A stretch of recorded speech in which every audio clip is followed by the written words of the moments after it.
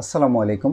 আমি আজকে তোমাদের ফিজিক্সের এক নাম্বার অ্যাসাইনমেন্টের ঘ নাম্বার প্রশ্নের উত্তরটা বিজ্ঞা সবার একটু করে দিচ্ছি। কারণ এইটার আনসার দশ হবে না বিশ হবে, সবাই এটা নিয়ে খুবই কনফিউশনে আছে। এটা একটা বার্নিং কোয়েশন হয়ে গেছে। সবাই আমাকে ফোন দিচ্ছে কমেন্ট করতেছে চ্যানেলে যে কি হবে আনসার দশ কেন হবে? বিশ হবে না কেন?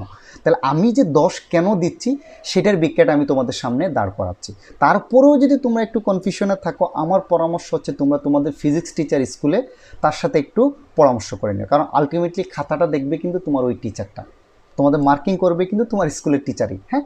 তাইলে আমি কেন দশ হবে আনসারটা সেটার বিজ্ঞাটাই তোমাদের সামনে উপস্থাপন করতেছি। দেখো, তাইলে এটা তোমাদের কি দেওয়া আছে? উদ্দীপকটা দেওয়া ছিল, এক নং অ্যাসাইনমেন্টের উদ্দীপকে বলছে, ঘ নম্বর প্রশ্নে বলছে, তোমাকে যাচাই করতে হবে যে কাগজটা কিনছো, সেই কাগজটার ভর। তোমার এখানে দুইটা ডাটা দেয়া ছিল। একটা কি ছিল? একশো ষাট গ্রাম পার মিটার স্কোয়ার। আরেকটা ছিল সাইজ, পঁয়ষট্টি ইন্টু কত? পঁচাত্তর সেন্টিমিটার। এই দুইটা ডাটা, তুমি যে কাগজ কিনছো, দোকানদার বাটপাট থাকায়, তোমাকে এখন প্রমাণ করতে হবে যে বা যাচাই করতে হবে যে তুমি যে কাগজটা কিনছো, সেই কাগজের প্রতি বর্গমিটারের ভর একশো ষাট গ্রাম কিনা। আর সেই কাগজের সাইজ পঁয়ষট্টি ইন্টু পঁচাত্তর সেন্টিমিটার কিনা। বাট এখানে একটা জিনিস তোমাকে বইলে দিছে উদ্দীপকে, তোমার কাছে যে অস্ত্র আছে, এটা যাচাই করার, অস্ত্র এক নাম্বার হচ্ছে ফিতা। সেই ফিতায় কি দুইয়ের গুণিতক আকারে জিনিসগুলো মাপা যায়? দুই, চার, ছয়, অর্থাৎ তুমি পঁয়ষট্টি মাপতে পারবা না, পঁচাত্তর মাপতে পারবা না। তার মানে একটা কাগজ তুমি কিনতে পারবা না। একটা কাগজ কিনলে তুমি তার সাইজ মাপতে পারবা না। আবার তার ভর মাপার সময় আরেকটা জিনিস বলে দিছে যে, বিশ গ্রামের নিচে কোনো জিনিস কি হয় না রেকর্ড হয় না। অর্থাৎ ভরটা আইদার তুমি কি করতে হবে, এমনভাবে ক্যালকুলেশন করতে হবে, যেই ভরটা যাতে কি হয়, বিশ দ্বারা ভাগ যায়। কারণ আমার যে ডিজিটাল নিক্তি বলছে, সেটা কিন্তু কি, বিশ, চল্লিশ, ষাট, এই মানগুলোই শুধু দেখায়। মাঝখানে কোনো মান দেখায় না, বিশ, চল্লিশ, ষাট, আশি, একশো একশো বিশ, একশো চল্লিশ, অর্থাৎ বিশ দ্বারা বিভাজ্য যে ভরগুলো সেইগুলোই শুধু দেখাবে। তাহলে তোমাকে এখানে ভর মাপার সময় বা ভরটা যাচাই করার সময় একটা নির্দিষ্ট কাগজ কিনতে হবে যাদের ভর অবশ্যই বিশের গুণিতক হয়। আর একটা নির্দিষ্ট কাগজ কিনতে হবে যাদেরকে, যাদের সাইজকে তুমি দুই দ্বারা কী করতে পারবা মাপতে পারবা। তাহলে শুরু করি, দেখো। তাহলে প্রথমে দেখো, প্রতি পাতার সাইজ দেওয়া আছে পঁয়ষট্টি ইন্টু পঁচাত্তর। তাহলে প্রতি পাতার ক্ষেত্রফল, দৈর্ঘ্য ইন্টু প্রস্থ দেওয়া আছে দৈর্ঘ্য ইন্টু প্রস্থ। এত বর্গ সেন্টিমিটার কিন্তু। তাইলে পঁয়ষট্টি ইন্টু পঁচাত্তরকে গুণ করলে তুমি পাবা চার হাজার আটশো পঁচাত্তর বর্গ সেন্টিমিটার এই বর্গ সেন্টিমিটারকে তুমি কোথায় আনতেছ? বর্গ মিটারে এখানে কিন্তু সেন্টিমিটার দুইটা, এই যে সেন্টিমিটার স্কোয়ার। দুইটা সেন্টিমিটার না, দুইটা সেন্টিমিটারকে মিটারে আনতে হইলে দুইটা একশো দ্বারা ভাগ করতে হয় হ্যাঁ? দুইটা একশো দ্বারা ভাগ করলাম, দেখবা পয়েন্ট চার আট সাত পাঁচ বর্গ মিটার এটা গেল। এখন দেখো তো, পাতার সাইজ নিশ্চিত হওয়ার জন্য, পাতার সাইজ কত ছিল? পঁয়ষট্টি ইন্টু পঁচাত্তর। কমপক্ষে দুইটা কাগজ দরকার। তবে দুইটা কাগজের দৈর্ঘ্য কত হবে? একশো পঞ্চাশ এবং প্রস্থ হবে একশো ত্রিশ সেন্টিমিটার। তবে কাগজের সাইজ ঠিক আছে বলে আমরা নিশ্চিত হব। অর্থাৎ পাতার সাইজ তোমাকে বলছে না দোকানদার পঁয়ষট্টি ইন্টু পঁচাত্তর, এইটা নিশ্চিত হওয়ার জন্য মিনিমাম দুইটা কাগজ লাগবে। মিনিমাম দুইটা কাগজ নিলে কি হচ্ছে দেখো, এই চিত্রস দিয়ে দিবা হ্যাঁ? এটাকে যদি আমি দৈর্ঘ্য বরাবর প্লেস করি, দুইটা কাগজ, এই যে এইটা এক নম্বর কাগজ, এটা দুই নম্বর কাগজ, বুঝছ তো? এই যে পরপর বসাইছি। তাহলে টোটাল দৈর্ঘ্যটা কত হওয়া উচিত? পঁচাত্তর ইন্টু পঁচাত্তর, একশো পঞ্চাশ। তাহলে তুমি যদি এই দুইটা কাগজকে পরপর দৈর্ঘ্য বরাবর বসাও মানে এইরকম আগে, একটার পরে আরেকটা, তাহলে তার দৈর্ঘ্য মাপা তোমার ফিতা দিয়া। এই ফিতা দিয়ে মাপার পরে যদি তুমি একশো পঞ্চাশ সেন্টিমিটার পাও, তাইলে বুঝবা যে তোমার কাগজের সাইজটা ঠিক আছে। তারপরে ওই দুইটা কাগজকে এখন প্রস্থ বরাবর বসাবা মানে একটার উপরে আরেকটা বসাবা, এই যে এই প্রস্থ বরাবর, বুঝতে পারছ? তাহলে দেখো পঁয়ষট্টি ইন্টু প্লাস পঁয়ষট্টি তাহলে কত হবে? একশো ত্রিশ। তাহলে যদি প্রস্থ বরাবর বসায়, এই লম্বালম্বি বসাও যদি কাগজগুলোকে মানে প্রস্থ বরাবর, এটা হলো দৈর্ঘ্য বরাবর। দৈর্ঘ্য বরাবর বসায় যদি একশো পঞ্চাশ পাও, প্রস্থ বরাবর বসায় যদি একশো ত্রিশ পাও, তাইলে বুঝবা তোমার কাগজের সাইজ ঠিক আছে। তাহলে কাগজের সাইজ জানার জন্য তোমাকে মিনিমাম কয়টা কাগজ লাগবে? দুইটা। তাহলে আমরা যেহেতু দুইটা মিনিমাম কিনবো, এখন দেখি দুইটা, ভরটা এখন আমরা যাইনি। আমরা আগে কি করলাম?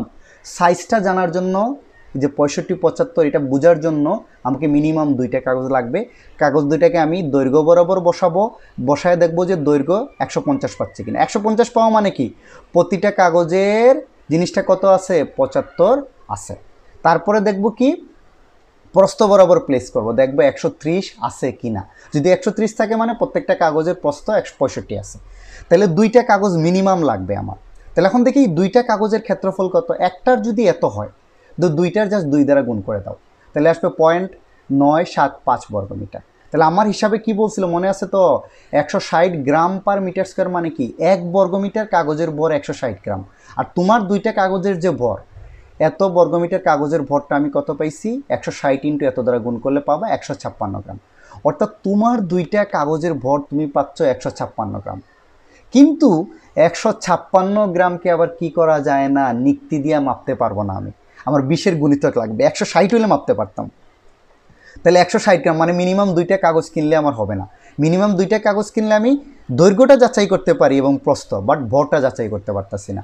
এই যে এটাই বলছে, কিন্তু ডিজিটাল নিক্তিতে বিশ গ্রামের নিচে কোনো ভর রেকর্ড হয় না বলে কাগজের ভরকে এমন মানে আনতে হবে যা বিশ দ্বারা বিভাজ্য হবে। অন্যথায় নিক্তিতে কাগজের সঠিক মাপ পাবো না।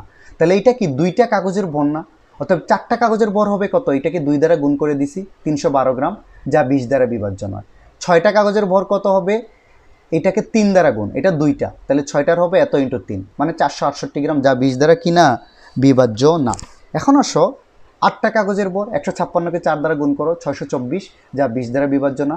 দশটা কাগজের বর একশো ছাপ্পান্ন ইন্টু পাঁচ হবে কিন্তু দশ না হ্যাঁ? দুইটা করে হ্যাঁ? তাহলে সাতশো আশি গ্রাম। এই যে দেখো, এটা কিন্তু কি? বিশ দ্বারা বিভাজ্য।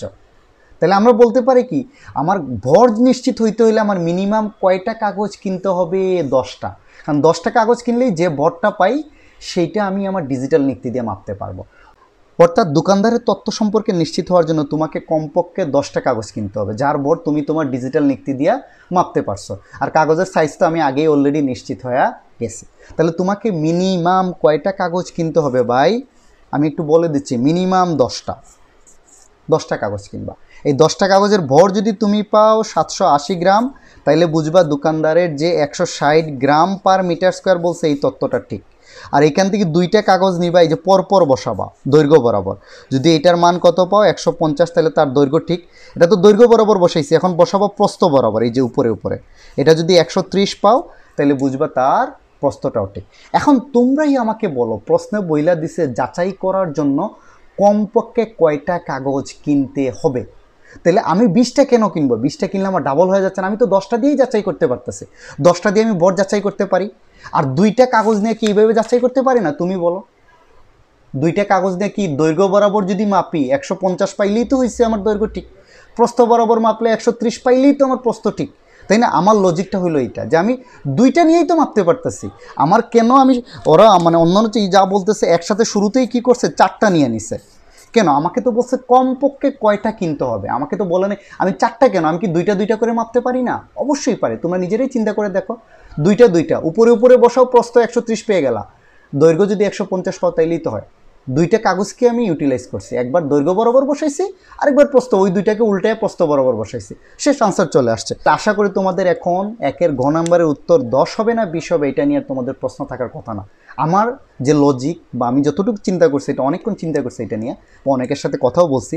আমি সবাই প্রথমে বেশি বলছে বাট যখন আমি আমার এই তত্ত্বটা দিছি, সবাই বলছে এটা আসলে দশই হওয়া উচিত। তারপরেও যদি থাকে আমার লাস্ট কথা, তোমরা অবশ্যই তোমাদের ফিজিক্স টিচারের সাথে কনসাল্ট করে নাও। টিচার যেটা বলব, এটাই কিন্তু রাইট কারণ টিচারই তোমাকে মার্কিং করবে। Okay thanks for watching